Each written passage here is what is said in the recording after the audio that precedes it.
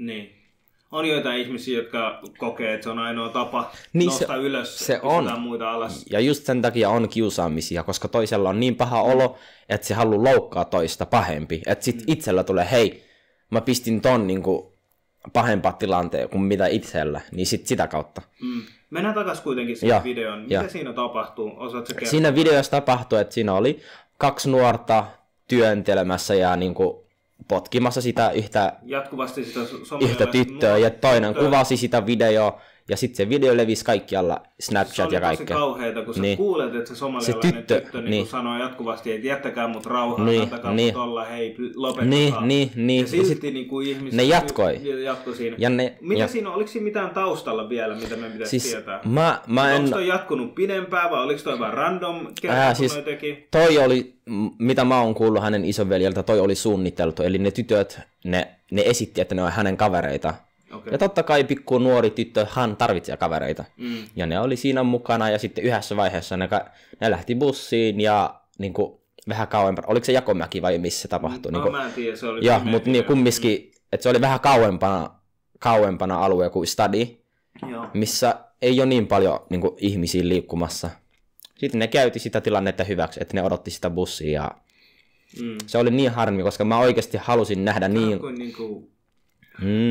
Evil, tiedätkö, kuinka se on, miten ihminen, miten ihminen voi ajatella, mä, mä vannon mun koko elämässä, mulle ei ole koskaan tapahtunut semmoista, että mulla tuli mieleen, mä haluan satuttaa ihmistä. Noin, tolla tavoin. Niin, tolla tavoin, tai ihan miksi vaan. Ja vielä ihminen, joka ei ole tehnyt sulle mitään. Mm. Ihan vaan siksi, koska, koska se on olemassa. Like, what is that? Onks, mm.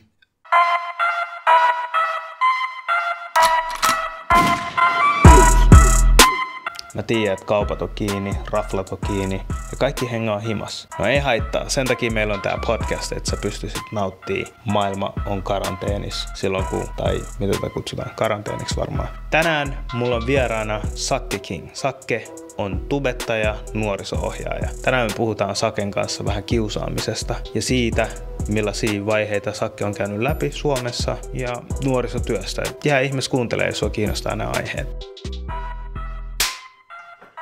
Yes, yes. Vihdoinkin äijä päästään. Mä luulin, että tää korona pysäyttää sut. Ja mikä, mikään ei pysäytä meitä. We, we gonna grind. You better know that. Ketään ei pysty pysäyttämään Sakke Kingin. Ei, ei, ei. Tervetuloa. kiitos, kiitos, uh, kiitos. Me oli pitänyt tehdä tää podcasti paljon aikaisemmin. Puoli vuotta sitten, mä muistan silloin, kun nähtiin. Aika paljon asiat tapahtuu. Mulla oli tää podcasti vähän tauolla. Mm. Mulla oli toinen progis. Mutta se loppu, niin tota, nyt mä tuun takas. Pääset takas, pääset takas hommiin. That sounds good, sounds good. No mitä sulla on tapahtunut? Mä aika paljon puhuttiin niinku behind the scene. Joo, siis tosi paljon juttu, isoja muutoksia. Kaikki, jotka tietää mut tube-puolelta, niin ne tietää, että mä olin aloittanut tubettaminen 2016 ja sitten silloin mulla oli tyttöystävä, jonka kanssa me silloin alettiin seurustella ja se suhde kesti kolme ja puoli vuotta ja just puoli vuotta, kuusi kuukautta taaksepäin tästä hetkestä niin oltiin erottu ja se oli se iso muutos sitten, että muutettiin niin kuin 2019 Helsinkiin hänen kanssa, se oli niin kuin mun kihlattu ja sitten kun me oltiin vuoden täällä, niin alettiin, oltiin sitä mieltä, että nyt parempi, jos molemmat niin lähtee omille teille ja se oli iso muutos ja kaikki, kaikki meidän kaverit oli järkyttyneitä, mutta sitten mä vaan olin silleen, päästetään, ja just silloin mä olin, otin sun, sinun yhteydessä, mä olin silleen, joo, että mun pakko päästä vähän energiaa, että onko mahdollista lähdet, joo, vähän purkaa energiaa, että lähdetäänkö nyrkeilemään. Sitten sä olit silleen, joo, let's do it. Sitten me lähdettiin ja myös kuvattiin se yksi blogi, että se oli tosi hauska ja oikeasti se nyrkeily auttoi mua niin paljon päästä kaikki ulos. Ja sitten sen jälkeen mä olin silleen, now everything is good, mä oon sinkku, mä pystyn keskittyä itteeni, oma uraan ja sitten siitä vaan aloin tekemään hommia ja keskittyä ja panostaa oman elämän eteen ja työelämään ja kaikkea, mihin mä oon keskittynyt. Tässä mm. ollaan sitten tänään. I mean, ero on ero ja mm. tietenkin, kato, parempi ero, tai siis niin kuin mä nyt kommentoin. Totta kai, totta kai, joo. Niin, niin, mutta, mutta puhut... parempi mieluummin, jos kummatkin ihmiset tietää, että ne haluaa jotain muuta elämältä, mm. niin ehkä se on parempi niin kuin ero, mm, ettei totta se ole kai. maailman loppu. Niin, niin mutta siis se oli hyvä, että me tehtiin sen päätöksen ja niin kuin, Ihmiset muuttuu. Niin. Mä sanon silleen, Niin. että mä nyt taaskaan puhun. Ei, ei, ei, totta kai sä puhut ylipäätänsä, älä huole, mä, mä oon semmonen ihminen, että mä, tiedän, tiedän, mä, mutta I get your point, niin. jotkut voi ymmärtää väärin, joo. Siis mä oon itse eronnut kanssa. Mm, joo. naimisissa. Mm. Sit, tota, ihmisillä muuttuu, me löydetään jatkuvasti, kuitenkin elämä on sellainen, että sä yrität jatkuvasti etsiä, Niin, että kuka niin. sä oot, mitä sun pitäisi tehdä. Just se, Ja sä et, sä et synny niin kuin silleen kirja kädessä, että hei, tässä on sun elämän tarkoitus, näitä niin, asioita sun pitää niin, tehdä. ei, pitää kokemuks, kokemuksen kautta pitää lähteä niitä ja niin kuin, tärkein on, että itse tietää, hei, että tämä on mun elämä, mä tiedän, että mä oon syntynyt ja siihen asti, kun mun niin eräpäivä, eli niin siihen asti, kun kuollaan, niin mulla on joku tarkoitus, että mun pitää yrittää löytää sen. Ja kun kokeilee erilaisia juttuja, niin huomaa, mikä natsaa, eli mikä on sun juttu, mikä, mitä, mistä sä tykkäät. Mm. Koska sä tiedät silloin, kun sä löydät sun juttu, koska sä oot niin innoissa siitä, ja sitten vaikka alussa kaverit dissaa sua sen takia, että sä vaikka itse aloitin tubettamista, mutta sitten ne alkaa kunnioita sua silloin, kun sä näytät, että hei, tää on mun juttu, mä haluan tehdä tätä. Mm. Niin sit se on vaan niin ihanaa kokemus, että Onhan se outoa. On. Et itse kun sanoin, että aloittaa mm. tubetuksen, niin, niin no yleensä ihmiset ei uskalla kyllä sanoa päin naamaan, jos on Niin. eri mieltä, mutta siis onhan se aika kummallinen asia. on, on. Mutta sitä pitää vaan tehdä. Miten sä niinku kokeneempana tubettajana, kauan sul kesti, että sul, sun hommat alkoi lentää niin sanotusti? No, Ja milloin sä koit, että sulla on, että sä oot tubettaja? Tiedätkö, että kun, Mä onko ko- se, se, se Joo. että sä sait tietyn verran seuraajia vai mitä, mitä sä kuvaat? siis mä koin, että mä oon tubettaja siitä heti ekasta videosta, kun mä tiesin, hei, mä teen tämän video, mm. koska mä haluan jakaa ihmisten kanssa, niin kuin, mitä mä osaan, koska mä oon niin kuin, kokenut niin paljon mun lapsuudessa ja kaikkea, että mä olin sille, hei, nämä suomalaiset nuoret, tai niin kuin Suomessa asuvat nuoret, ei pelkästään suomalaiset, että ne tarvitsee semmoista henkilöä, joka näyttää, vaikka elämä on ihan perseestä, mm. silti pystyt olla onnellinen ja löytää sitä, niin kuin, että, yritä, että pystyt rakentaa elämän sellaisena kuin sä haluat. Mm. Ja sitä mä oon tehnyt tähän asti ja on niin kuin, ihana nähdä, miten se vaan niin kuin menestyy. Eli niin kuin, jos sä itse sanot itsellesi, hei, mä olen tubettaja, koska ei seuraajilla ole mä, niin kuin, vä- mie- mieti, jos ajattelet silleen, että sulla on 10 000 seuraajia mm. ja sun videot katsoo tuhat ja parikymmentä kommentteja, tai sitten sulla on tuhat seuraajia, mm. sä oot parisataa kommentteja ja niin kuin, näyttö kertoi. Eli silloin sulla on, vaikka sulla on vähemmän seuraajia, sulla on aktiiviset seuraajat, jotka katsoo, jotka kannustaa sua, mitä sä teet. Eli semmosena mieluummin kannattaa katsoa, kuin että olla sille, joo, tuolla on 10 000 seuraajia. Et sit just ton eron jälkeen mä olin silleen, että nyt mä tarvitsen itselläni oma aika, että mä en halua niin tehdä YouTube-videoita, niin kaikki oli sille, ota niin paljon aikaa kuin tarvitset. Sä puhuit onnellisuudesta, Ja. että voi tehdä elämässä, Niin. ei tarvi olla niin tylsää, että Niin, voi elää niin, onnellista elämää. niin. Mikä sulle antaa onnellisuutta elämässä? Ää, mulla antaa onnellisuutta, että mä tiedän, vaikka mä oon nukkumassa, vaikka, vaikka itsellä menee tosi huonosti, mulla on tuolla internetmaailmassa videoita, jotka piristää ihmisiä, eli videoita, missä mä puhun kiusaamisista, ää, naisten arvot, niin kuin muslimien näkökulma, että mä annan suomalais, niin kuin suomalaisille myös sitä, että mä oon niin kuin lähtenyt tähän tubettamiseen siltä kannalta, mm. että mä ajattelen, mä olen niin kuin maahanmuuttajien ja suomalaisten silta, koska se niin kuin ennakkoluulo menee molempiin suuntiin. Että pitää olla se ihminen, joka ymmärtää sekä suomalaisia että niin kuin maahanmuuttajia. Mm. Ja mä oon tullut turvapaikkahakijana tänne, nyt mä oon Suomen kansalainen. Mulla on niin paljon sitä kokemusta, että mä oon ollut molempien ryhmien kanssa niin paljon, että mä tiedän, hei, että te molemmat niin kuin ennakkoluulette toisiaan, mutta oikeasti ei siihen tarvi. Mm. Et se onnellisuus on just se, että, niinku, että mä tiedän, mun videot on tekemässä sitä positiivista kontenttia tuolla nettimaailmassa. Ja, Suuri osa sun seuraajista, ootko kattonut mistä päin ne on, tai onko ne niinku suomalaisia tai somalialaisia? Miten sä koet tai mitä sä oot ymmärtänyt? siis mä, mä oon ymmärtänyt niin, että tosi paljon suomalaisia katsoo mun videoita ihan vaan siksi, kun mä, oon, niinku, mä puhun kaikkien maahanmuuttajista liittyviin aiheisiin. Ja sitten tulee, sit mulla tulee tyyppejä kertomaan Instagramissa tai Snapchatissa missä vaan, että hei, sun avulla olen saanut hyvän, niin kuin, hyvän näkökulman maahanmuuttajista, että ennen mulla oli ennakkoluuloja. Tai joku tulee sanoa, hei, että mä, että mä oon ollut rasisti. Se on, se on ihme, miten joku tulee sanoa sulle, hei, että mä oon ollut ennen rasisti maahanmuuttajia kohti, mutta kun mä oon kattonut sun videoita, mä oon huomannut, miten tyhmää juttu se on. Tai että on ennakkoluullut sitä, että maahanmuuttajat ovat raiskaajia, että on aina pelännyt tummaihoisia. Mutta sitten kun ne on kattonut mun videoita, niin ne on, ne on ymmärtänyt, että hei, että ei, ne- ei ne kaikki ole sille. Mitä sä luulet, että mitkä videot, että sä teet monenlaisia Siis- videoita, mitkä videot saattaa olla just sellaisia, että saa tällaiset henkilöt, jotka saattaa olla rasisteja tai eh, että Si- on ennakkoluuloa tiettyä erilaisia ihmisiä kohtaan. Että millaiset ne videot on, mitkä Siis- sä luulet, että joo, siis mulla on-? Mä, mä aina teen silleen, että mulla on tietty värikoodi, Mm. että silloin kun mä teen juttuja, niin mä tiedän mitä vaatteet mä laitan. Että pikkuhiljaa aloin niin kuin löytää tietyillä hahmoilla niin kuin vaatetusta. Eli Että sä hahmotat itse. niin, hahmotan itteni, että mistä aiheesta puhun. Niin, niin, niin. Onko komediaa, onko vakava asia, onko mun elämään liittyvä Mitä asia. nämä värit on ja kerro mulle. Ää, jos mulla esimerkiksi, mulla on aina ollut punainen takki, mitä multa varastettiin, me voidaan puhua siitäkin myöhemmin, että mulla mitään, takki, niin, vaan. eli mulla on ollut semmoinen punainen takki, mm. aina kun mulla on se punainen takki, mä puhun maahanmuuttajiin liittyviin aiheisiin, mitä suomalaisten pitäisi tietää, esimerkiksi just, että naisten arvot meidän uskonnossa, ää, miten niin kuin hyväksyä erilaisuutta ja niin kuin, mitä e- meidän tarkoitus on niin kuin elämässä ja kaikkea. Niin kuin meidän uskontoon liittyviä, että niin kuin muslimi usko, niin kuin islamin uskonto, mitä muslimit, niin kuin miten me eletään meidän arki, kaikki tuommoiset tärkeät aiheet, mitä suomalaisen pitäisi tietää, mitä ne ei, niin kuin, kaikki, kaikki ei tiedä sitä, mm. niin niistä, niistä mä puhun. Eli jos mulla on punainen takki, ja sitten jos mulla on toi farkkutakki, mikä mulla on tänään mukana, mä puhun kaikkea, mitä nuorten pitäisi tietää. Aa, sä, sä valitsit ton Joo, ton. vielä. Joo. Tää, Eli, niin, eli jos mulla on toi, toi niinku farkkutakki, mä tiedän, mä puhun kiusaamisesta, Joo. erilaisuuden arvostaminen niinku, ja puhun kaikkea, mitä, mitä niinku nuorten pitäisi tietää, että miten ne voi löytää onnellista elämää. Joo, joo, joo. Et, et pikkuhiljaa sit toi takki, sit mulla on semmonen keltainen huppari, mikä mulla on. Jos mulla on se huppa, huppari, mä tiedän, mä puhun hauskoja video, mä teen hauskoja sketsejä, Komedia. niin kuin komedia, eli niin kuin Abdi-sketsejä, Abdi-hahmo, mulla on semmoinen Abdi-hahmo, joka tekee hauskoja sketsejä, niin sit se, se omistaa sen Passion huppari, sit siinä lukee, ja jos mulla on tämä Jason, mm.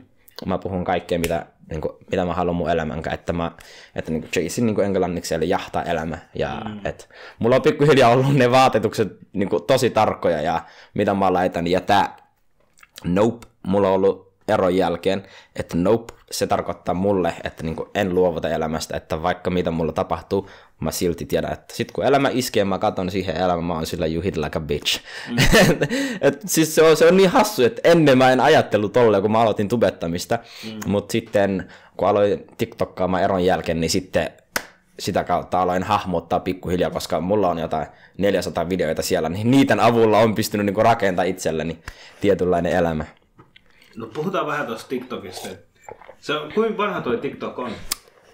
Ei siis se koko sovellus. Joo, se sovellus Siis aika ennen, ennen, ennen se oli musikaali, muistatko sen musikaali? Mu- Musicali, joo. Musikaali. Musicalin nimi vaiht, vaihdettiin TikTokkiin. Mm. Eli ennen se oli musical, se on tosi pitkä, se on vanha, vanha sovellus.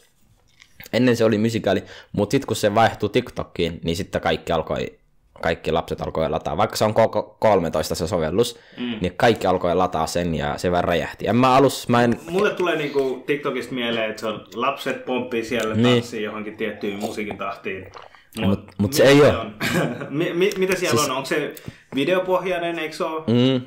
Ja minuutin, minuutin kestävät videot pystyy tehdä maksimissaan 60 sekuntia ja koko maailma on siinä. Ja jos joku ei ole siinä, Mä en oo siinä.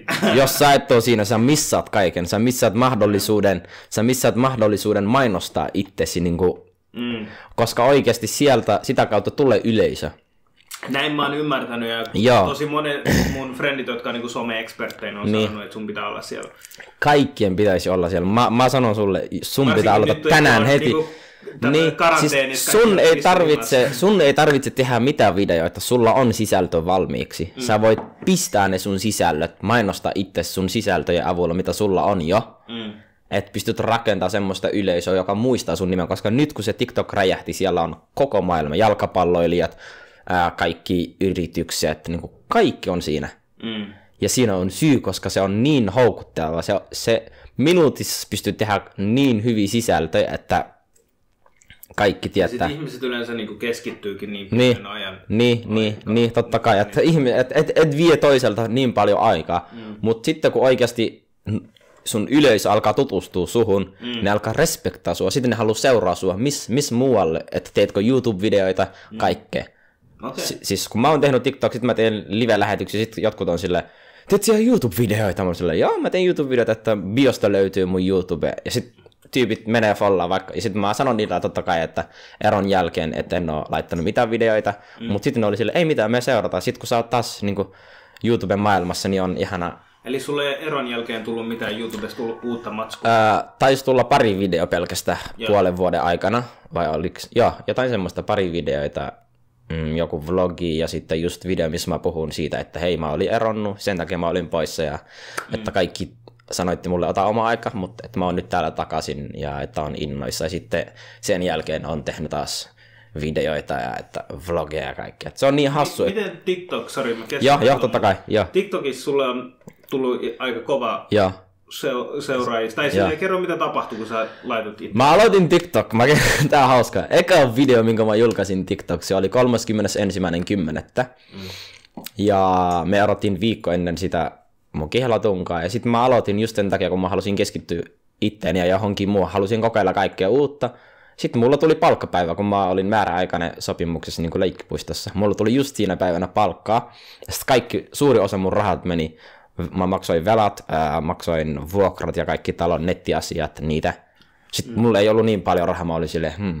Sitten kun mä aloin tehdä se TikTok-käytä, mä olin silleen, voisi tehdä semmoinen 15 sekunnin sketsi, mikä kertoo, mihin kaikki mun rahat menee. Missä mä vaan tanssin siinä on silleen, että niinku, mm. rahat menee tohon nettiin, velat, bla bla bla. Mm. Sitten kun mä tein se, boom, heti alusta alkoi tulla rasistisia kommentteja. Ai mamu, joka on töissä.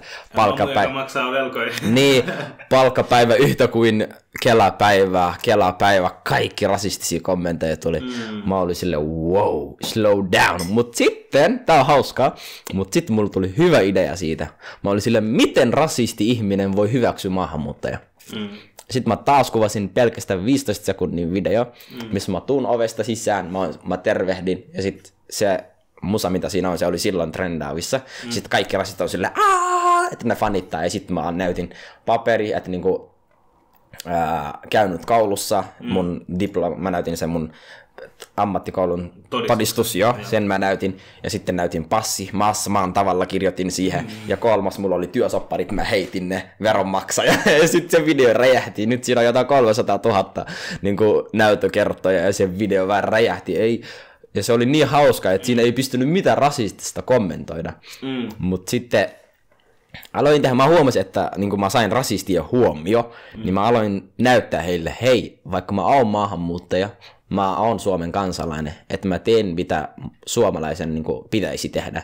Mm. Ja mä en tee sitä, koska mä oon maahanmuuttaja, mä teen, koska mä itse haluan tehdä, ja mä haluan olla vapaa. Mä oon elänyt niin kuin Kelan rahoilla, ja mä tiedän, se ei ole paskaakaan mitään. Sori, että mä kirjoitan. Saanko muut kielenkäyttö? Saat tehdä just mitä sä haluat. Joo, siis mä välillä, mä välillä, siis mä oon asiallinen ja just niin kuin lasten kanssa, kun on ollut töissä ja nuorten kanssa on oppinut käyttäytyä, mutta sitten joskus niin kuin vaan ärsyttää. Siis no, se, se vaan tuntee. Se on niin, se on, se on, se on, se on vaan, että mä oon rehellinen ja just sitä, kun sä näytät sun tunteet, niin silloin ihminen oikeasti ymmärtää, hei, this nigga ain't playing, että niin kuin mä, mä en pelleile, tämä ei ole vitsi, että pitää ottaa tosissaan, ja mä teen tätä niin kuin oman elämän kannalta, että mä itse haluan menestyä, mä teen töitä sen takia, että mä haluan rahaa, että mulla on sitä niin kuin taloudellinen tilanne parempi kuin mitä Kelan hommia esimerkiksi, koska ei, oikeasti ihmiset tekee siitä liikaa, että Kelan rahat olisi jotain. Mm. Se ei ole mitään se on niinku kuukaudesta kuukauteen sä elät, sulla ei ole vapautta, sä et voi saada keneltäkään pari kymppiä, sulla ei voi tulla ekstra rahoja, sä oot niinku vankilassa. Joo, mä veikkaan, että miksi ihmiset, niinku, tai varsinkin tietyn mm. ihmiset, no yleensä ne ihmiset, jotka on itsekin työttömiä, niin, niin. jota ärsyttää, että okei, maahanmuuttajataustainen työtön vie mun rahat, että jos toi ei olisi niin. täällä, niin mä olisin saanut itselleni. Niin, niin. Mä veikkaan, että se tulee aika paljon siitä. Sanoisin. Se tulee, ja mä... Mutta ajattele, se on sama juttu, niin. että jos, jos vaikka Bangladeshiin tulee tosi paljon vaikka, en mä tiedä, vaikka indonesialaisia. Niin, niin. Ja sitten ne alkaa niinku olla työttömiä, tai sitten joku niistä on tehnyt jotain niin, pahaa, niin, ja sitten niin. tulee nettiin, niin. ja sitten se vähän räjähtää, niin siis ihmiset toimii silleen, että meillä on semmoisia outoja ryhmiä meidän niin. aivojen sisällä, että me mm. vastaan he. Mutta loppujen lopuksi me ollaan kaikki me, ihmisiä. Ihmis, just se, ja just sitä, että oikeasti ihmiset ei kysy itsellensä, milloin sä olet nähnyt hyvän uutinen? Mm. Sitä ei ole koskaan. Sä näet pelkästään negatiivista. Ei ole väliä mistä ryhmästä tai mistä asiasta. Se on aina negatiivinen. Kaikki. Ja ne tekee sen, että sä panikoit. Mm. Koska ne ei halua, jos, jos kaikki laittaisi pelkästään hyviä uutisia, kuka kattoisi? Ei kukaan. Maailmassa tapahtuu aika paljon hyviä asioita myös. Tapahtuu, mutta niitä, niihin ei pistetä silmiin, vaan kaikki on keskittynyt negatiiviseen, koska sitä pelkästään mainostetaan kaikkialla. Mm. Ja se on se, on se niin kuin, harmillinen totuus, että elämä, elämä on tämmöistä, mutta pitää vaan itse löytää oikeasti, mikä, mikä on sun juttu. Ja, niin. Mutta tämä, elämä, tämä, elämä, tämä peli nimeltä Elämä on hassu ja pitää sitä kautta niin kuin, lähteä rakentamaan asiat. Puheen ollen siitä mediajutusta. Joo. Tai niin kuin mediasta nyt, kun sä toit ääni. Joo. Uh, muutama päivä sitten mä näin yhden videon, missä Joo. somalialainen tyttö, tai mä oletan, että Joo, se on somalialainen tyttö, Joo. Niin häntä kiusas, niin kuin, ei pelkästään kiusaamista, vaan työnnettiin, hakattiin, siinä oli joku 5-6 niin kuin, Mm. nuorta, mä en halua sanoa suomalaisia, koska ei kaikki Ei voi tietää. halua Niin, totta kai, asiaa. niin. Mutta ylipäätään siinä oli Nuoria ne on. kaikki. nuoria ja ne niin kuin, huomasi siitä, että ne oli suomalaisia. Se ei ole se syy, minkä takia ne löi sitä tai Mm, niin mm. edelleen. Mutta tota, oot sä nähnyt tämän videon? Milloin sä oot nähnyt sen? Pari päivää sitten. Pari päivää sitten. Milloin se tapahtui? Mä oon nähnyt sen puolitoista kuukautta sitten, silloin kun se tapahtui. Oikeasti. Silloin kun se tapahtui, mä olin hänen iso, sen tytön isoveljen kanssa, me oltiin kauppakeskuksessa, sen isoveli itki. Mä sanoin, sit se oli niin ärsyyntynyt koko tilanteesta, mä olin sille hei. Varmasti. Siis, Mä sanoin, hei, mä ymmärrän, sä oot hänen isoveli, ja sulla on niin kuin, oikeus olla ärsyyntynyt, vihainen, niin kuin, että se oli niin, se, se poika itki niin paljon, se soitti äi, hänen äidillä, se kertoi siitä tilanteessa, koska se video oli lähetetty hänelle. Ja silloin mä olin sille, hei, mä en halua tuoda negatiivista, niin kuin, että vaikka tämä on tosi ranka juttu, että mä en halua tuoda sitä video heti niin kuin, julkisuuteen. julkisuuden, että mä ohjeistin sitä poikaa, tehkää rikosilmoitus, varmista, että sun sisko voi hyvin, että hänelle ei käynyt niin, että ei tullut niin isoja vammoja. Joo. Ja mä sanoin hänelle, odotetaan, että uutisissa tulee se juttu. Ja tähän päivään asti mä odotan vielä, että se tulee, niin kuin, että, siitä, että siitä puhutaan uutisista. Että mä oon odottanut tähän päivään asti, että tyypit kertoo siitä uutisista. Ja missään ei, ule, niin kuin, ei yleensä näkynyt sitä, ei sanomalehdit, ei kaikkeen, missä pitäisi näkyä se video, tai pelkästään se aihe. Mm. Et koska nuori on nuori, ei ole väliä mistä maasta sä oot, ei ole väliä sun kulttuuri, uskonto, vaan Nuoret tekee tyhmiä asioita. ne tekee tyhmiä, tekee niin, tyhmiä niin, asioita. koska mä vannon, ja tää ei ole edes vitsi, jos se, o- jos se, ois, jos se rooli olisi mennyt toisinpäin, Siitä olisi tullut se olisi ollut kaikkialla. Se olisi ollut kaikki, koska niin kuin mä sanoin aiemmin, sä et näe mitään positiivista niin kuin uutisissa. Mm. Koska Suomessa se, että maahanmuuttaja niin kuin, kiusaa niin kuin, suomalaista, mm. siitä se on negatiivinen uutinen. Se leviää nopeasti. Se saa ihmisiä reagoimaan niin, koska se on se, on se, se, on se tunne, että kun sä näet, että sun nuorta hakataan, Mm. sä ajattelet niin kuin se olisi sun lapsi, vaikka se ei ole. Mutta kun se menee toisinpäin, se ei, se ei saa suomalaisten reaktio. Mm. Ei kaikkien, mutta Niin, siis ei kaikki. tiettyjä, Totta kai jotkut, jotkut, jotkut, mm, On- on tietenkin mulla on, niin, mulla on niin ihania ihmisiä mun äärellä, jotka on suomalaisia. Mä tunnen tosi ihania sosiaali, jotka on, mm. joka on mulle, niin kuin, mä tunnen yksi sosiaali, joka on mulle niin kuin äiti. Mm. Se aina soittaa mulle ja varmistaa, onko mulla kaikki hyvin, miten työssä menee ja kaikki elämät. Ja niin kuin, mulla on suomalaisia parhaita kavereita. Mä oon aina tutustunut ihmisiin ennen kuin mä kerron mitään Mä kenestäkään. Niin, ton esille, koska Niin. tämä menee nettiin. Niin, Sit- totta kai, ja sit on tyypit- ihmisiä, jotka haluaa... jotka haluaa levittää sitä Niin, tai silleen näkee, että sä puhut jostain asiasta ja sitten Mm. ottaa sen ilman väärin, kontekstia. totta kai. Se on, se on, se on perus, mutta Mm. Ja se on sitä, että ei pitäisi katsoa, onko se ihminen suomalainen vai maahanmuuttaja, Niin. vaan me kaikki ollaan ihmisiä. Ja tällä hetkellä tämä korona, mitä on tällä hetkellä menossa, mm. jos tämä ei tuo meitä yhteen, Mm. mä en tiedä mikä, toisi sitten meitä yhteen, koska kumminkin me kaikki yritetään niin kuin elää tätä elämää ja niin kuin tehdä parhaamme, että voimme elää onnellista elämää. Joo. Eli meillä kaikilla on omia vaikeuksia, Mm. mutta ei se tarkoita, että meidän pitää pistää muita alas. Niin.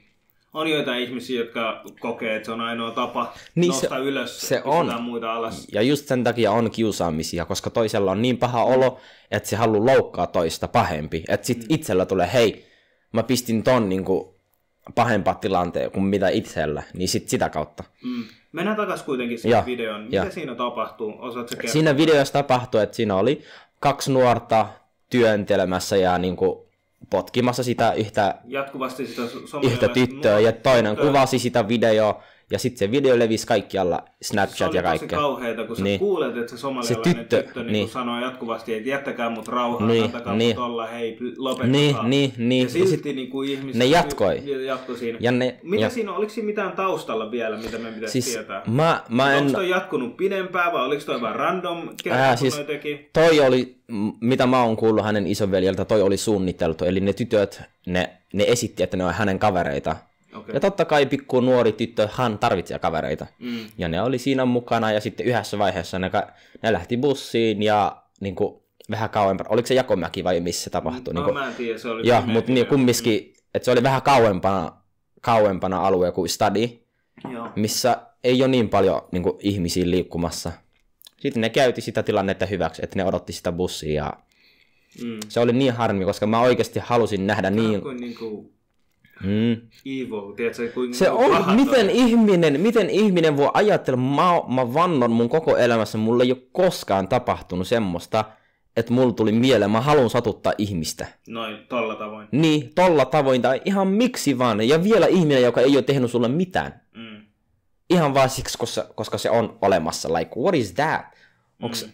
et nykymaailma on niin sekaisin ja ihmiset ovat yksinkertaisesti sairaita. Se on vaan, se on vaan sitten mun mielipide. Mutta ne ihmiset, jotka kiusaa ja hakkaa muita ja käyttää väkivaltaa niin kuin ratkaisuksi, se on vaan niin sairasta.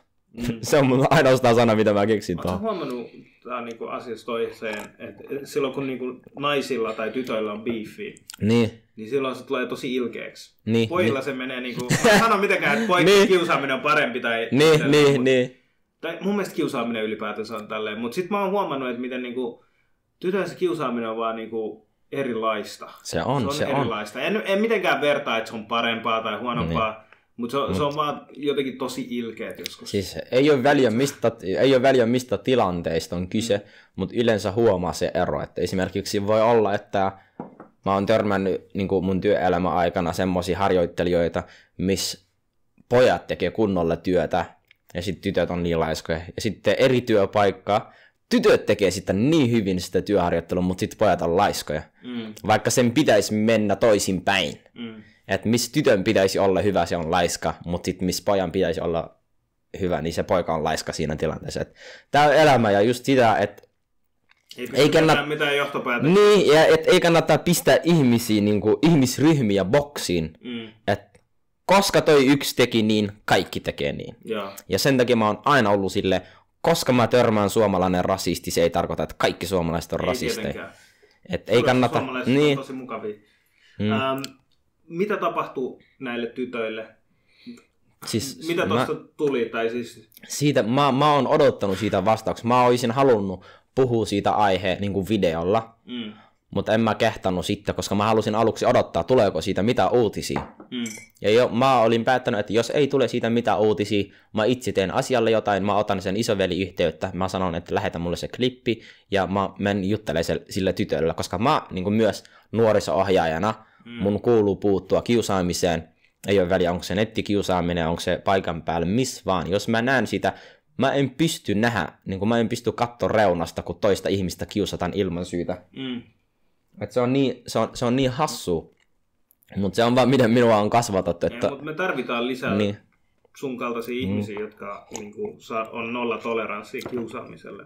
Ei, ei. Mä en, mä en kannusta minkään näköistä. Ei pelkästään kiusaamista, vaan väkivaltaa, ää, juoruttelu toisesta, paha puhuminen, kaikki tuommoista. Ne on vaan niin turhia, koska oikeasti, jos sä keskityt, jos sulla on oma elämä ja sulla on ura, Mm, silloin sulla ei ole aikaa niin puuttua toisten elämään. mm, Mutta jos sulla ei ole yksinkertaisesti elämää eikä mitään tekemistä, totta kai silloin sä huomaat, mitä toinen tekee. No, mä veikkaan, että se tulee myös siitä, että aika monet ihmiset, niille ei ole Ei ole mitään... Niin, mitään mihin keskittyy. Niin, just sitä, että ei ole... rakentaa. Ja sit joskus ne näkee, että joku toinen voi hyvin ja se voi ärsyttää niitä. Tai Niin. joskus Ja- ne, ei, että ne haluaa purkaa sitä pahaa Anna- oloa johonkin muuhun henkilöön. Anna kun mä kerron tosta sulle, mitä mä ajattelen rasisteista. Aina kun mä näen rasistia, mä säälin hänen puolesta, koska mä en ajattele sille, että se on huono ihminen. Mä ajattelen enemmän, jos ajattelet, sitten sulla tulee esimerkiksi, silloin kun joku rasisti tulee, mä olen silleen, hei, jos minä olisin Somaliassa, Mm. Somalia oli turva, olisi turvan maa, missä voi elää, Turvallinen paikka. joo, turvallinen paikka, missä voi olla. Ja joku suomalainen tulisi Somaliaan, ja hänellä olisi somalialaisia mimmei, Mm. hänellä on ura, hänellä on elämä, hän tietää, mitä haluaa tehdä hänen elämänsä. Mä en pysty katsoa sivusta, hei, tää on mun maa, mitä mä teen mun elämällä. Miten tommonen äijä, joka on asunut Suomessa kahdeksan vuotta tai Somaliassa kahdeksan vuotta, miten se menestyy, miten se löytää oma juttu? Ja se johtuu siitä, että mä en oo kateellinen kellekään. Mm. Mä rakastan nähdä ihmisiä, jotka menestyy. Ja mä kannustan ihmisiä olla oma itsensä. Ja sit sitä kautta olen pystynyt löytämään itse oma juttu. Mm. Mutta kaikki ei vaan ole niin. Kaikki ihmiset ei ole samanlaisia. Että jotkut vaan on niin mustasukkaisia ja niin kateellisia, kun ne näkee toisen menestyvän. Mm. Ja sit se pistää sut niin pahaan tilanteeseen, että sä et voi tehdä mitään muuta kuin vaan vihata sitä ihmistä Mm. ilman syytä. Sä et tunne mua, sä et ole koskaan nähnyt mua, mutta koska sä vihaat itsesi, sä tarvitset peilin. Mm. Ja se on vaan miten elämä on, että se on niin hassu. Niin ja sitten se on muutenkin niin paljon helpompaa, että jos, jos mulla menee huonosti tai asiat on huonosti, Mm. niin sitten on jotenkin helpompi syyttää jotain muuta. Niin. Syyttää valtiot, Niin, syyttää... tai sitten, Kaikki. Se on sille, ei ole väliä mitä tahansa, mistä tahansa on kyse. Kaikilla pitää olla tekijä. Mm. Mitä tahansa tapahtuu, pitää olla syy, miksi se tapahtuu. Mm. No, mites sä Mm. sanoit tässä nyt, Niin. että sus, sä oot tota, nuoriso Ja, ja, Mutta ja. ennen sitä sä olit leikkipuistossa. Ja Niin. tässä tapahtunut jotain tämän Ää, kuukauden aikana, kun meillä on... Joo, silloin viimeksi kun nähtiin, olin leikkipuistossa. No kumminkin, ennen kuin mä muutin Joensuusta tänne, niin mä olin niin kuin, opiskelmassa nuorisohjaaja niin kuin koulutusta, ammattikoulu, mm. ja mulla oli viimeinen työharjoittelu leikkipuistossa Mm. viime vuonna. Ja sitten niin kuin sen työharjoittelun avulla mä olin sille, hei, että mä haluan olla leikkipuistossa töissä, jotta mä voin kehittää mun niin kuin ohjaajataidot Mm. nuoriin varten. Eli niin kuin aloittaa pienistä, koska meillä kuuluu kaikki ikäryhmät. Mm. Että mä voin aloittaa pienistä, eli ohjaan niitä ja saan jonkunlainen työkokemusta, työelämää, ja sitten mä voin lähteä nuorisotalolle. Sitten mä olin vaan te- ja se oli ihanaa, kun sen ty- työharjoittelun aikana mä tutustuin just se, sos- se sosiaali, joka on mulle niin kuin äiti, joka on auttanut mua. Se, Sosiaalityöntekijä varmaan. ja, ja sosiaalityöntekijä. Joo. Se on myös tällä hetkellä, se on Helsingin kaupungilla niin kuin sosiaalina myös. Joo. niin että se auttoi mua, se oli mun ohjaaja siellä työharjoittelussa, se motivoi mua niin paljon ja varmisti, että mä sain asunnon, varmisti, että mulla oli kaikki hyvin, että se huolehdi minusta niin kuin omaa poikaa ja sitten aina siellä työharjoittelussa heiti semmoinen vitsi, hei, että sä, että sä oot sama ikäinen kuin mun poika, että mun pitää pitää susta hyvää huolta. Ja ne aina soitti mulle, hei, missä oot, miten menee kaikki hyvin. Ja just se eroaikanakin ne oli, ne oli kaikki, se oli number one, kenelle mä soitin silloin, kun me erottiin, että nyt tämmöistä on tapahtunut ja pitäisi tehdä jotain. Ja siis Se on tosi tärkeää, että on se on se ihmisiä, jotka, koska koska on, on. Tiedätkö, me ihmisrotu, me ollaan niinku sosiaalisia eläimiä ja me tarvitaan toinen toisiamme, että Mm. hyvin. Et, Se on, se on just toi. Mutta kun mä aloitin sen leikkipuistotyöharjoittelu, mm. ne tykkäsi millainen ohjaaja mä olin lasten kanssa, tulin hyvin toimeen ja esimies tarjosi sitten mulla niin jatkopaikkaa. mm, Et kesäduuni tarjottiin 2019 ja sitten elokuusta eteenpäin tarjottiin jatkosopparia, mikä sitten loppuu viime vuoden, siis tämän vuoden tammikuussa. Sitten mä olin tehnyt sen, sen verran sitä leikipuista hommaa ja sitten mä vaan siirryin nuorisotalolle. Aloitin puolitoista kuukautta sitten just vähän ennen tätä koronatilannetta ja vaikka nyt nuorisotalot on kiinni, mä oon silti nuoriso-ohjaajana töissä. Ja syy, miksi mä halusin nuorisota, niin nuoriso-ohjaajaksi nytte, on, että oli tarkoitus, että mä menen heinäkuussa armeijaan. Nyt se on kysymysmerkillä, koska tämän koronatilanteen takia. mm, Et mä olin sille, hei, ennen kuin mä lähden armeijaan, mä haluan jonkunlaista kokemusta niin kuin nuorisotalolla niin kuin Mm. ohjaajana.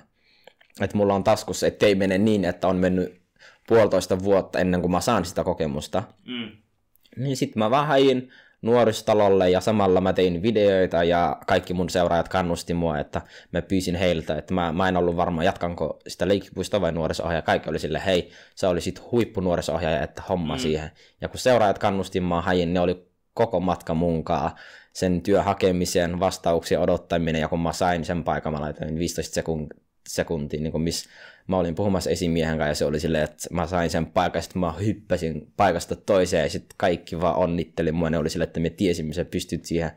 Että se on ollut niin ihanaa kokemus, että kaikki on ollut siinä mun tukena niin kuin Ehdit sä olla kuinka pitkään itse nuorisotalolla töissä, kun nyt kun on, on tämä koronatilanne? Öö, jotain kaksi viikkoa oli nuorisotalolla töissä niin, että siellä oli nuoria. Mm. Ja sitten just nämä viimeiset pari viikot mennyt just silleen, että nuorisotalo on kiinni ja mm.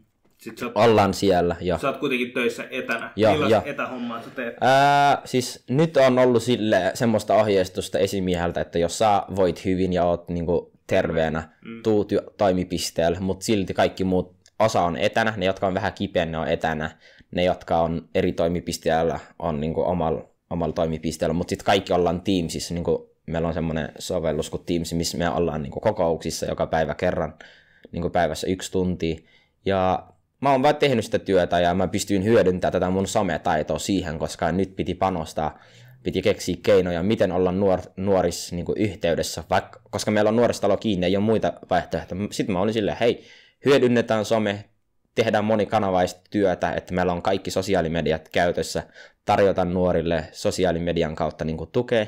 Sitten kaikki oli sillä, okei, okay, tehdään... Mitä kaikkea te teette nyt somessa niin kuin nuorisotalona? Ää, nuor... ja, niin, kuin niin totta kai. Juttu. Mä teen, mä teen itse oma juttu, että mä erotan työ ja oma juttu. Että sit kun me ollaan työpaikalla, niin me suunnitellaan... Onko oma ei, ei ole, ei ole. Totta kai siihen työpaikalla mä oon, mä oon se ohjaaja Sakke mm. ja mä, ne huomaa minusta, että se ei ole samanlaista, miten mä oon omalla ajalla. Et me vaan tehdään videoita, jotka pitää nuoria niin kuin, ajan tasalla, mitä koronatilanteessa tapahtuu, miten, miten niiden pitäisi niin käyttäytyä. Ää, me käytetään TikTok, me aloitettiin TikTok, jossa on nyt 3000 seuraajia. Mm. Ja me käytetään Instagramia aika paljon, sitten WhatsApp on mm. tosi suosittu, koska nuoret saa ohjaajia kiinni sitä kautta. Niin, niin. niin meillä on siellä ryhmiä, että että se jakautuu kolme osaa, eli niin kuin meillä on sitä digitaalinen nuorisotyö, että tarjotaan nuorille, tehdään videoita, live-lähetyksiä, missä ollaan nuorten kanssa, että ne näkee meidän kasvot ja niin edespäin, että niillä on sitä mm. turvallinen olo.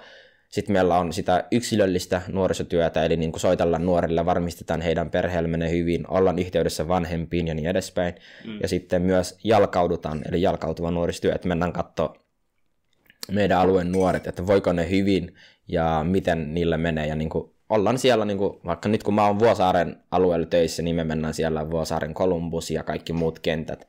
Käydään katsoa, voiko nuoret hyvin, kerrotaan heille, pysykää niin kuin, kotona ja totta kai on hyvä, että ne liikkuu tuolla, mutta myös, että ei liiku sille isoissa porukoissa, mitä on kielletty niin kuin yli 10 hengen porukka.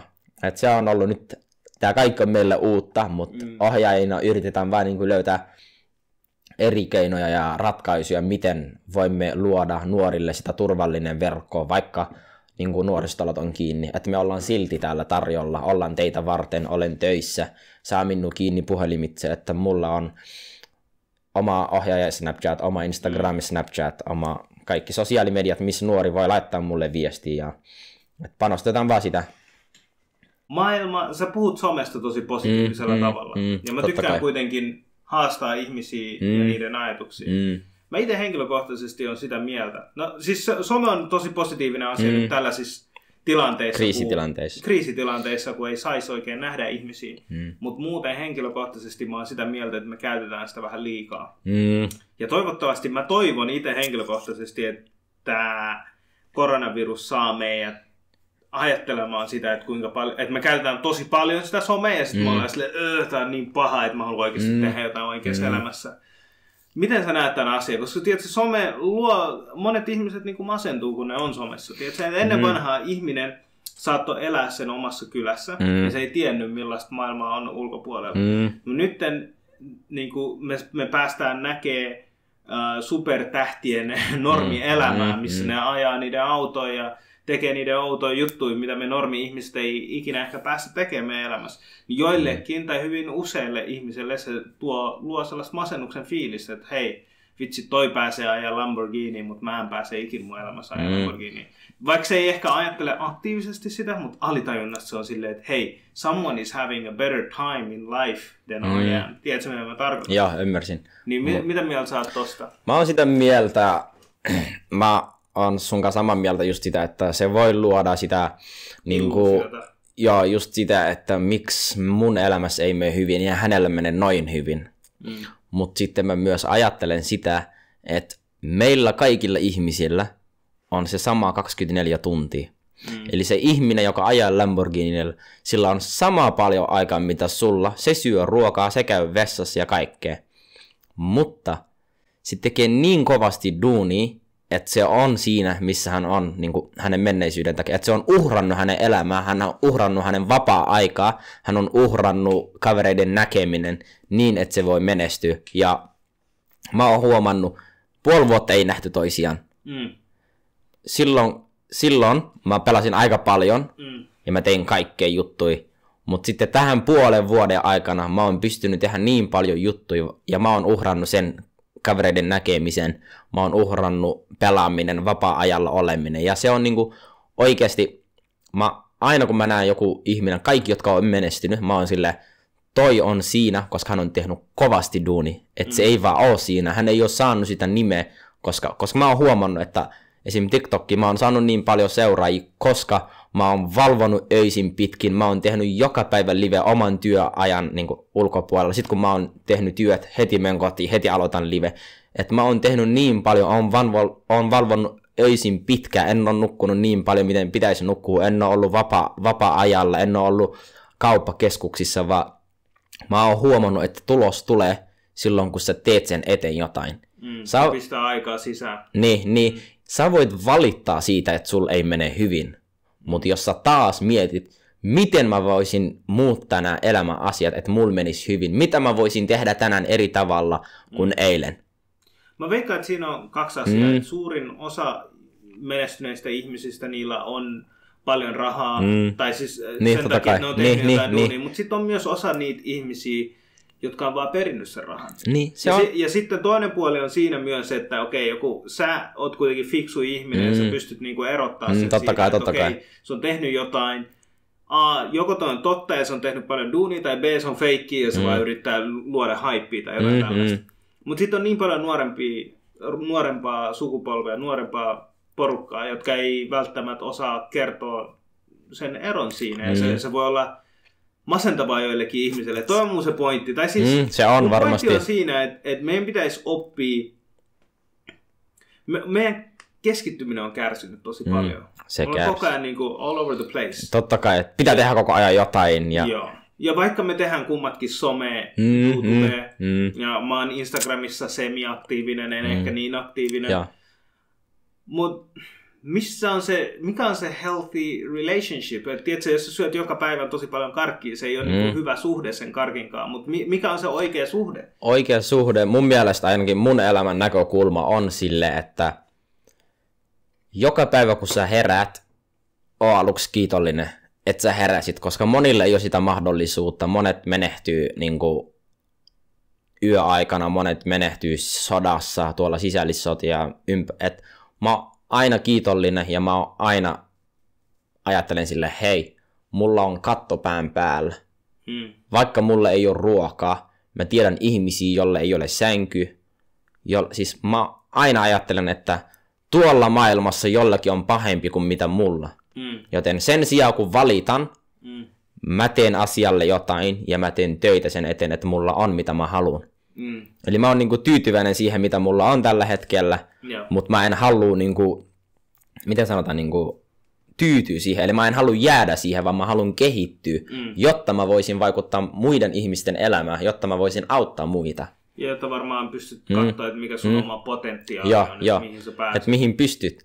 Ja just oman elämän kokemuksen kautta on huomannut, että mä oon aina onnellinen. Vaikka mä oon kokenut niin paljon juttuja, mitä mm. kenenkään ihmisen pitäisi kokea, mä silti löydän sitä onnellisuutta. Et mä aina osaan niin jotenkin, ja kun mä oon sunkaan tässä, mm. jos mä kysyn, hei, mitä kuuluu? Ja sä sanot tälle, niin sä sanot ihan hyvä, mä tiedän, sul menee hyvin. No, Mut joo. sitten jotkut on sille hyvin, että se paussi kertoo, että joku on meneillä. Että mä saan jotenkin niinku vaistoa sitä niinku I get the sense that something is off, you know, että jot, joku menee, että mä oon sille, hei, mä tiedän kaikki ei ole hyviä, että kerro mulle. Mm. Et sen, sen, kun osaat jotenkin ymmärtää ihmisiä hyvin, että sä tiedät, että toi ihminen ei voi hyvin, mutta mut sitten mä annan totta kai ihmisillä tilaa. Mä oon sille, hei, sun ei ole pakko kertoa mulle, mutta jos oikeasti sulla on kaikki hyvin, I'm happy for you, mutta jos sulle ei ole kaikki hyvin, mä haluan, että sä kerrot mulle, että mä voin auttaa. Eilenkin y- yhden friendin kanssa juteltiin, sitten mä olin sille, hei, miksi sä oot ollut niin vähän aktiivinen somessa, että onko kaikki hyvin? Mm. Sitten se oli silleen, joo, mä olin silleen, hei, mä tunnen sua, että sä et ollut niin aktiivinen, mitä en, että what's going on. Mm. Mä taas kysyin, sitten se alkoi avautua kaikesta. Sitten mä olin silleen, hei, älä huolehdi. Sitten mä lähetin hänelle semmonen videokin, semmonen video, missä tyyppi, hänellä on kaksi oot- en tiedä, oot sä nähnyt? En.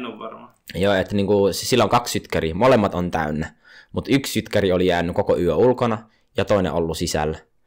Se, joka oli ulkona, se ei mene päällä, mutta se toinen sytkäri, joka oli sisällä, menee päällä. Sitten se oli silleen, että me, elä, niin me ihmiset elämässä, vaikka meillä, niin kuin, vaikka meillä näy, että kaikki on hyvin, joskus päin. niin ulkoa päin, että ei ole. Että joskus me vaan tarvitaan toisen ihmisen apu. Sitten se laittaa se sytkäri, mikä oli sisällä päällä, ja se vie sen toisen lähellä, ja sitten se toinenkin sytkäri tulee päälle.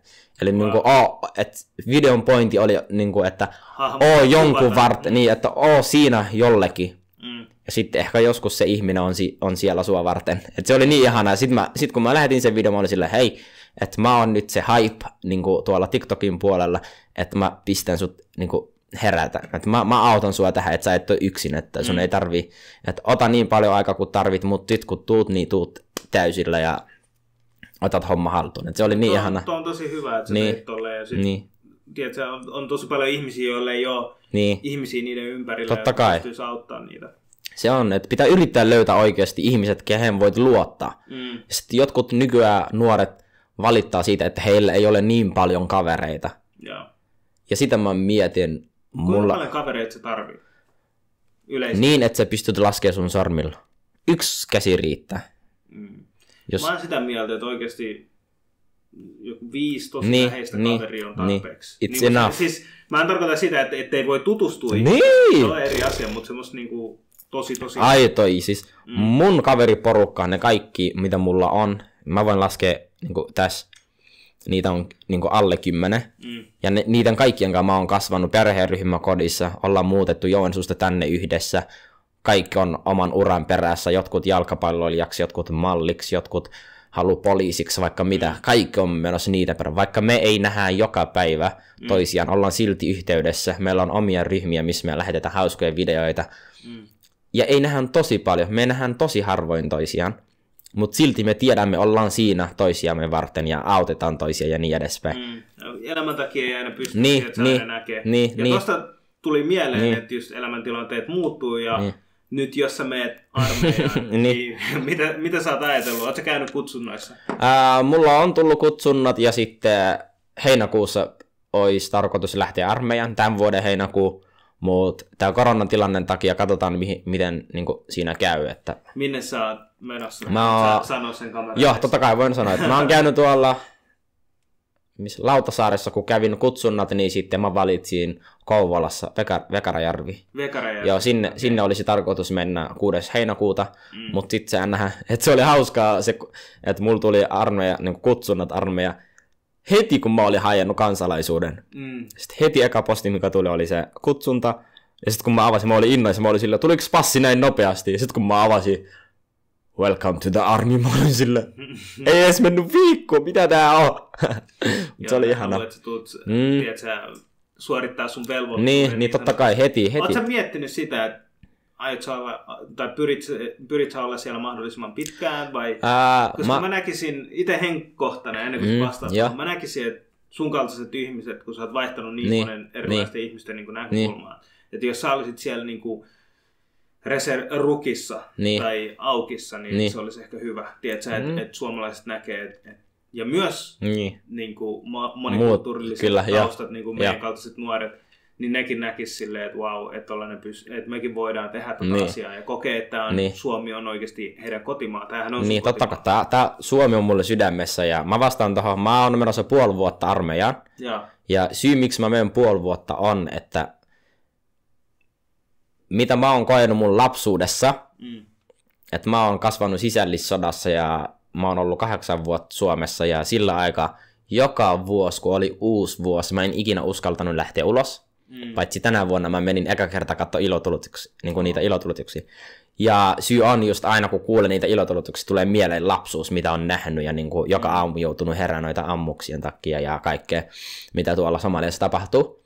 Mm. Niin se oli, se oli luonut mulla semmoista, että, niinku, että mä en uskalla Traumoja. tehdä mitään. Niin, trauma, just niitä traumoja, että mä, että mä pelkäsin. Mutta sitten mä olin tämän vuoden alussa, mä olin sille, hei, nyt mä menen katsoa ilotulutuksia, että vaikka tulee niitä ajatuksia mieleen, mä tiedän, mä oon nyt Suomessa ja mä oon turvassa. Ja syy, miksi mä menen armeija on, että monet maahanmuuttajataustaiset nuoret, jotka on kasvanut sisällissodassa, meidän ei ole pakko mennä, mun ei ole pakko mennä niin armeijaan Mm. mutta mä haluan mennä, koska mä en halua rajoittaa itteni, tai mä en halua, että muut rajoittaa mua. Mm. Että vaikka mä oon ollut sodassa, mä oon Suomessa, että mä ajattelen, että mä oon syntynyt silloin, kun mä tulin Suomeen. Että mä oon täältä saanut uuden mahdollisuuden päättää itse, mitä mä haluan tehdä elämän kanssa, löytää oma uraa ja vaikuttaa siihen. Ja sen takia mä vaan, siitä, mä vaan haluan näyttää aina, että mä oon kiitollinen, mitä mä oon saanut, ja mä oon valmis niin taistelemaan Suomen puolesta, ja mä menen armeijaan. miksi kuusi kuukautta, miksei No, Vuosi. sit, just sitä, että ei voi ikinä tietää. Ja mä oon semmonen ihminen, että joka ei suunnittele liikaa. Että mä nyt Okei, päätin puoli spontaaninen. vuotta niin, että mä oon päättänyt, että mä oon puoli vuotta siellä, mutta jos mä viihdyn, mä voin olla jopa pidempi. Mm. Ei voi ikinä tietää. Ja se on just se, että sä et voi ikinä tietää, miten elämässä menee, Mm. kunnes sä saat sitä kokemusta. Koska me ihmiset aina pelätään kokeilla jotain uutta. Mm. Että emme tiedä, mihin pystytään, mitkä on meidän rajoja. Mutta sitten kun sä oot siinä paikan päällä ja on ollut semmoinen juttu, mistä sä et ikinä uskaltanut tehdä, mutta sitten kun sä teet sen, sulla tulee niin hyvä fiilis. Mm. Että se on, Ajattelit sä somettaa siellä niin kuin TikTokia? totta kai, totta kai mä ajattelin pitää nuoria niin ajan tasalle, että hei, vaikka mä teen mun työtä, että mä oon vielä tässä, ja näyttää myös niille ennakkoluuloisille ihmisille, että hei, vaikka mä oon maahanmuuteen taustainen ja mä oon syntynyt, mä olen valmis kuolee Suomen eteen. Että Mm. et just ihan vaan siksi. Ja sitten samalla niin kuin mun yleisö kasvaa mun kanssa. Et mm. Mä oon aloittanut 2016 tähän mennessä. Pikkuhiljaa ihmiset, ne mun seuraajat, ne tuntee mua. Jotkut tuntee mua paremmin kuin minä itse. Et joskus ne muistuta, vaikka mulla on huonoja päiviä, sit mä laitan somesta jotain, ne on sille, hei, me tiedämme sä olet vahva, sä pystyt tähän, mikään ei estä sua. Et ne, niistä, ne on mun niinku, ne auttaa mua samalla tavalla, miten mä autan niitä. Että ne muistuttaa mua, miksi mä aloitin somettamista. Aina kun mulla on huono olla, ja mulla on semmoinen tunne, että mä haluan luovuttaa elämästä. Mm. Ne on sille Sakke, sä pystyt tähän, me uskomme sun. Ja sitten kun ne sanoo niin, sä oot silleen, hei, mitä mä ajattelen, että, että nämä kaikki uskoo mua, että nyt mun pakko tehdä sitä, että mä haluan tehdä sen, että mä näytän ihmisille, mä pystyn tähän. Ja se on mulla ollut aina se juttu, että mä tykkään todistaa, että ihmiset ovat väärässä minusta. Mm. Eli kun joku ennakko luulee mua ja sanoo, että sä et pysty tohon, mä teen ihan vaan siksi, että näytän sulle, mä pystyn vaikka mihin. Mä Se sanon, on hyvä, se on Niin. hyvä niin kuin tapa on, on, on. Ja mä oon sille, purkaa pist- sitä energiaa. Joo, ja, siis, ja sit se lopputunnelma on niin ihanaa, kun sä oot ollut sille hei. Ja sit hauskempi juttu on, että kun sä tunnet itsesi paremmin kuin kukaan muu, Mm. ja sit joku sanoo sinusta jotain, mutta sä tiedät, että se ei pidä paikansa. Mm. Mut sit oot vaan hiljaa, että annat sen puhua loppuun.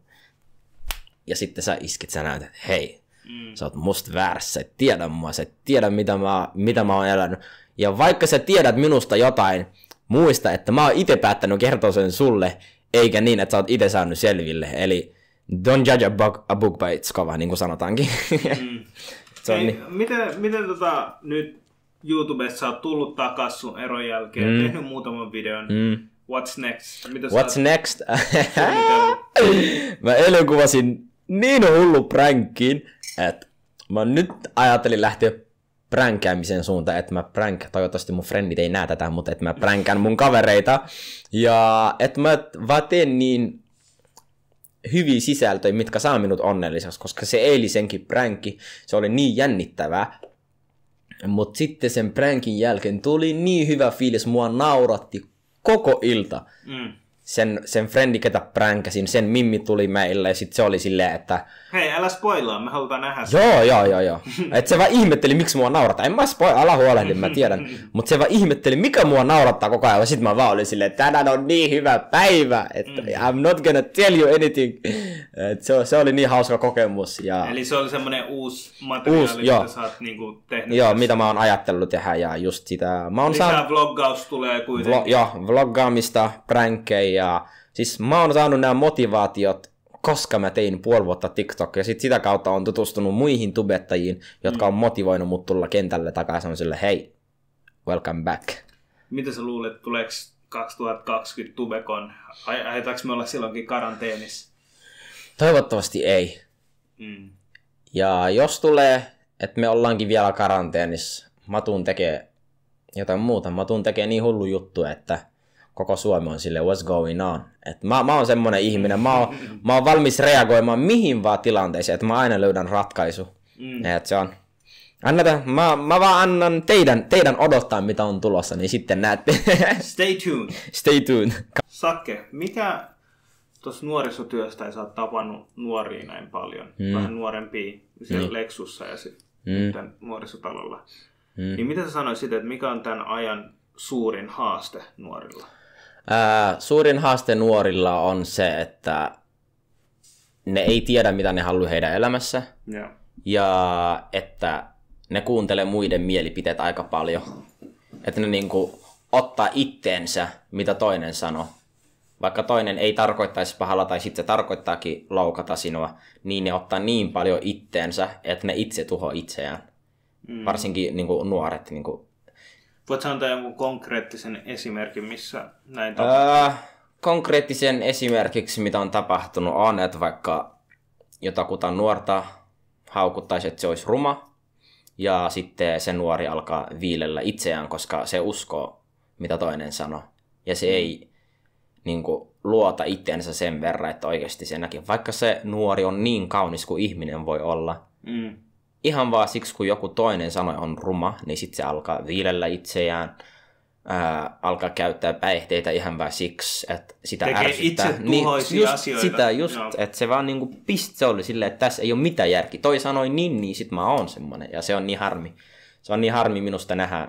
Miten sä autat tollaisia nuoria? Tai miten sä näet, että Ää... mitä, mitä aikuiset voi tehdä tai muut ihmiset, jotka on Ai- ympärillä? Aikuiset voi tehdä oikeasti sitä, että ne kuuntelee nuoria. Se, okay. se, on, se on tosi iso juttu, että maailma muuttuu koko ajan. Nuoret on ihan erilaisia, miten me oltiin nuoria. Vaikka siitä on kahdeksan vuotta, kun mä tulin Suomeen, silloin mä olin nuori. Mm. Mutta miten mä vietin mun nuoruus ja miten nyt tämä maailma on, se on ihan erilaista. Mm. Että just sitä pitää olla joustavia aikuisina ja yrittää nähdä nuorten näkökulmasta, eli se empatia. Että pistät itse nuorin kenkiin, että hei, tämä maailma on niin hullu, kaikki on tapahtuu, pitää yrittää ymmärtää. Trump on pe- presidentti. Niin, niin siis kaikki, kaikki, kaikki on vaan niin hullu, että sun pitää yrittää ymmärtää, mitä se nuori tarkoittaa. Eli et saa suuttuu tai niinku, Ylireagoida. niin ylireagoi, mitä nuori sanoo, koska jos se nuori tulee avautuu sulle, se luottaa sen verran, että se haluaa sulta sitä tuki. Mm. Ja joka ikinen nuori tarvitsee yksi luotettava aikuinen. Ja jos heillä ei ole sitä luotettavaa aikuista, mitä jär... he ajattelee sitä, että mitä järki on tässä maailmassa. Koska mä olin siinä tilanteessa, että mä olin sille, mitä järki mulla on tässä maailmassa. Mä oon menettänyt mun isoinveli, joka oli mulle kaiken sisällissodassa ja kaikkea. Ja mä en käynyt puolen vuoden koulussa. Mutta yksi nuoriso-ohjaaja, joka oli perheryhmäkodissa, soitti mulle kysyi, hei Sakke, miten menee? pelkästään sillä puhelulla mä osasin niin kuin, avautua, että sain sitä, niin kuin, sitä uskoa, että mua että oikeasti joku välittää. Mm. Että joku uskalsi soittaa mulle ja sanoa, miten menee. Että se ei ole pelkästään työtä, vaan se on sitä, että oo sen verran ihminen, että oo siinä niin kuin, nuorten, nuorta varten, koska nuoret on Suomen tulevaisuus. Mm. Ja jos niitä ei auteta, niin sitten ne lähtee väärin suuntiin ja liittyy väärin porukoihin, koska niillä on semmoinen tunne, että meidän on pakko. Että jos mä en mene tuohon kaveriporukkaan, jotka käyttää päihteitä, joskus isojakin päihteitä, että mulla ei ole kavereita. Ja se ei pidä paikansa, mutta kun ne uskoo siihen, Mm. koska heille ei ole annettu sitä itsevarmuutta, että sä et tarvitse sellaisia kavereita. Mm. Ja että se on tosi harmillista. Se on maailman rankkaa ja sitten varsinkin kun nämä nuoret henkilöt, niin niillä on tosi vähän kokemusta elämästä. Mm. Niin se kaikki, mitä ne on kokenut. Mutta pitää ajatella just mm. silleen, että vaikka elämä on rankka, Mm. sä oot tänään elossa, koska sä oot sen verran vahva, että sä pystyt siihen. Mm. Jos sulla on semmoinen mentaliteetti, että sä oot sille, hei, mä heräsin, koska mä pystyn tähän. Mm. Vaikka kui huonosti asiat menee, mä aina löydän. Että niinku tässä nykynuoret, mä voin näyttää sulle. Tässä on kakku. Mm. Nykynuoret, jos mä otan tämmönen pala, ne keskittyy toi pikkupala, mitä mä otin. Joo. Eli he keskittyy, mitä heillä ei ole. Mutta jos ne katsoo laajempi kartta, ne näkee, että oikeasti se ka- iso kakkupala on siellä. Mm. Mutta mä veikkaan, että Joo. ylipäätänsä ihmiset mm. suurimmaksi osaksi Totta kai, keskittyy sille. totta kai se on, se on. tavalla. Tai sitten, että ihmiset ajattelee, jos mä oon väärässä, Mm. tai siis jos mä oon oikeassa, sun pitää olla väärässä. Niin. Vaikka se ei pidä paikansa, molemmat voi olla oikeassa oman elämän näkökulmasta. Mm. Ja mä oon oppinut sen, se yksi mun ohjaaja opetti, että jos me ollaan, minä ja sinä ollaan tässä, Joo. me riidellaan ja sitten vaikka tosta, kuka on oikeassa, mitä sä näet tuolta? Uh, mä näen ysin. Mä näen kutosen täältä, kuka on, kuka on väärässä? Niin. Tämä on hyvä. Et, hyvä, hyvä et tapa mole, joo, mä aina kun mä näen, että kaksi nuorta riitelee Mm. semmoisesta asiasta, missä molemmat on oikein. Mä otan A4 paperin, mä kirjoitan kutosen siihen keskellä, pistän niiden keskellä. Mä sanon, mitä sä näet? Ysi. Mitä sä näet? Kutosen. Kuka on väärässä? Ei kukaan. Mm. Ja sit sitä kautta ne alkaa ymmärtää, että vaikka mä oon oikeassa, Ottaa toinenkin, toisen mielipiteen Niin. huomioon.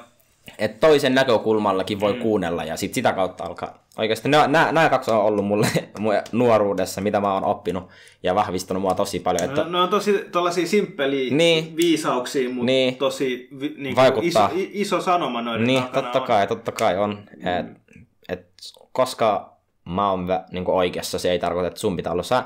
Et meillä kaikilla on erilaista lapsuutta, meillä on erilaista nuoruutta, Erilaiset taustat. niin, ja erilaista tausta, kulttuuri, uskonnot, kaikki mitkä vaikuttaa, millainen ihminen sinusta tulee. Mm. Ja emme voi ikinä tietää toisen, toiseen elämästä, kunnes se itse sanoo. Et Mm. se, on vaan, se on vaan niitä juttuja, mitä kannattaa ottaa huomioon. Kyllä. Hei, Sakke, onko sulla mitään viimeisiä viestejä tai me ollaan tultu vähän niin kuin tähän Äh, loppuun tilanteeseen. Tää on tota, ollut- Kerro ihmeessä, jos sulla jäi jotain sanomatta. Mitä, Ää, mitä sä haluat sanoa et mä hal- ihmisille tuolla? Mä haluan sanoa, mä haluan sanoa se, että tämä oli niin ihana kokemus, että pääsi tämmöisen tilanteeseen, missä Totta pystyn kai. oikeasti puhua itsestäni. Ja nämä kaikki, mitä mä oon tässä sanonut, ne on, mitä, mä oon, mitä kautta mä oon kasvanut ja niin edespäin. Ja tärkein on, mitä mä haluan sanoa teille ja otatte tästä videossa, on, että niin kuin make shit happen on ollut mulle semmoinen lause elämässä, että vaikka välillä menee huonosti, Mm. tee asialle jotain. Älä jää sinne itkemään asiasta, koska se, että valitat ja itket, se ei paranna mitenkään. Se, että valitat, miksi hommat ei mennyt niin, se hommat ei itsestään lähte käyn, niin käynnistymään, vaan sun pitää tehdä asialle jotain. Ja mä muistan 2016, kun aloitin kirjoittaa, tota, tai siis kun aloitin, just kun aloin pikkuhiljaa saamaan mun elämää niin kuntoon sen verran, että hain nuorisotalo, niin kuin nuoriso-ohjaajaksi, kävin työkokeilussa ja kaikkea, niin silloin mä kirjoitin mun Whatsappiin niin kuin semmonen teksti, Getting Alive. Mm. Mulle tähän päivään asti mulla lukee se, se pikku kuote Getting Alive, ja sitten kun mä aloitin tubettaa, mä kirjoitin siihen, että make shit happen, eli vaikka, vaikka mulla ei ole niinku oikeat työkalut tubettamiseen, mulla on puhelin. Mm. Et jos sä keskityt, miten sä voit tehdä asioita, sä löydät ratkaisuja, mutta jos sä valitat asiasta, sä löydät tekosyitä, miksi et voi tehdä sitä. Et se on aina se näkökulma, eli niinku pistä asioita tapahtuma itsesi varten, koska sä pystyt. Ja viimeinen asia, mikä liittyy tähän niinku, tilanteeseen, eli niinku, on syy, miksi koko maailmassa sanotaan, olkaa karanteenissa, olkaa kotona, koska tämä virus on niin iso juttu, että se ei ole pelleily. Varsinkin nuorille. Tämä virus ei tunnista, minkä maalainen sä oot. Se ei tunnista, mikä uskonto sä oot. Tämä on se hetki, missä me kaikki pystytään tulla niin kuin, yhteen toimeen, että oikeasti arvostetaan toisiaan huolimatta uskonto, kulttuuri, ää, mihin ryhmä on kuullut. Mm. Et nyt on kyse ihmisistä, että me kaikki ollaan tässä maailmassa, tämä on meidän maailma, ja tämä virus on se vihollinen meitä kaikkia kohti. Eli nyt kun sä oot kotona ja oot karanteenissa, se auttaa sairaanhoitajia tekemään heidän työtä.